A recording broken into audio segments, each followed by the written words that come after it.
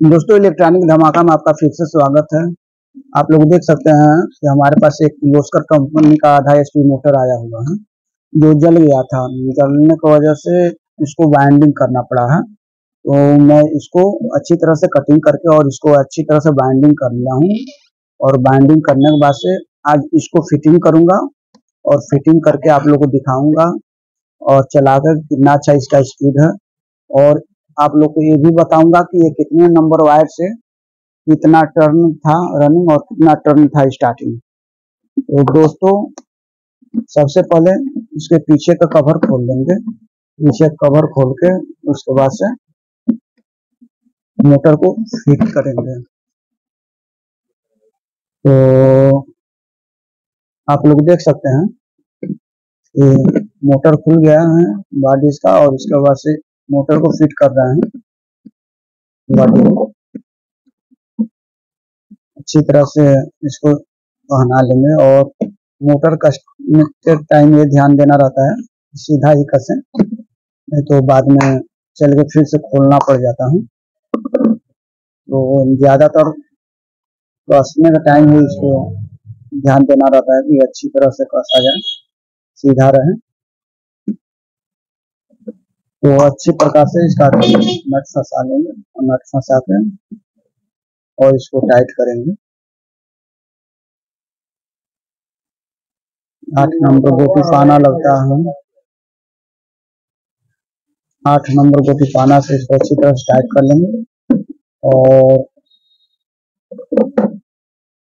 थोड़ा लेकर थोड़ा थोड़ा इसको आगे से भी बारी ठोक लेंगे और ठोक कर उसके बाद से स्टार्ट कर देंगे कि मेरा स्टार्टर है, जो मोटर है, एकदम फुल टाइट हो जाए। फुल टाइट नहीं रहता है। इसकी वजह से भी प्रॉब्लम आती है। तो मोटर को कभी भी फुल टाइट कसना चाहिए। तो आप लोग देख सकते हैं। इसको अच्छी तरह से कस दे, दे रहे हैं। इसके बाद से इसको चला के आप लोग को दिखाएँगे और इसका डाटा बताएँगे दोस्तों आप लोग को। तो कसने के बाद से इसका पंखी लगा देंगे पीछे का। पंखी लगाने के बाद से इसका कनेक्शन करेंगे। तो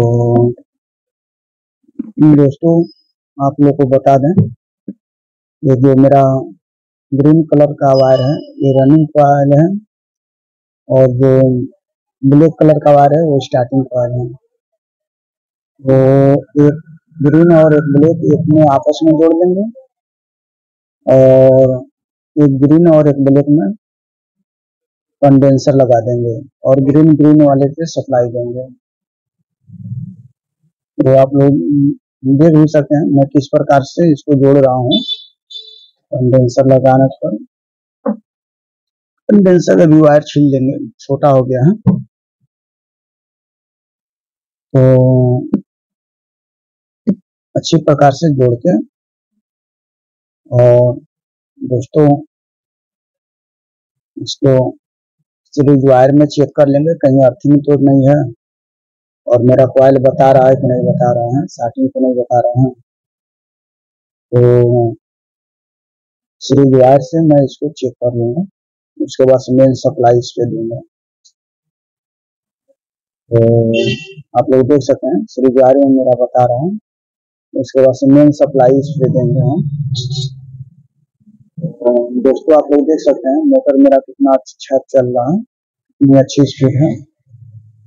तो दोस्तों, आप लोग को बता दें कि 26 नंबर कापर वायर से पचासी पचासी, नब्बे नब्बे का टर्न है रनिंग कॉयल और फिर से स्टार्टिंग कॉयल मेरा सत्ताईस नंबर कापर वायर से ये सौ सौ का टर्न रहेगा, ये चार दो का सेट रहेगा। तो दोस्तों, आप लोग को वीडियो अच्छा लगे तो लाइक करिए सब्सक्राइब करिए कमेंट करिए शेयर करिए। धन्यवाद।